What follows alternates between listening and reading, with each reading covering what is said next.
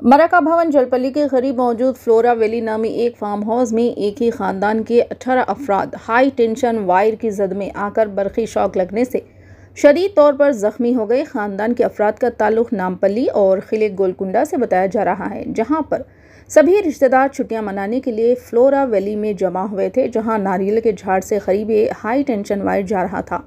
तेज़ हवाओं के सबब नारियल के झाड़ से ये हाई टेंशन वायर टकरा कर ये वायर स्विमिंग पूल में जा गिरा, जिसके नतीजे में स्विमिंग पूल में बरखी रौद दौड़ गई, जिसके नतीजे में स्विमिंग पूल में तैराकी करने वाले अठारह अफराद को शौक लगने की वजह से ये अफराद शदीद जख्मी हो गए। उन्हें फौरी तौर पर बगर्ज इलाज के लिए श्री श्रीनिवासा हॉस्पिटल मुंतकिल किया गया। बताया जा रहा है कि यहाँ पर दो अफराद की हालत बहुत ही ज़्यादा नाजुक है। आइए देखते हैं ये अफसोसनाक खबर।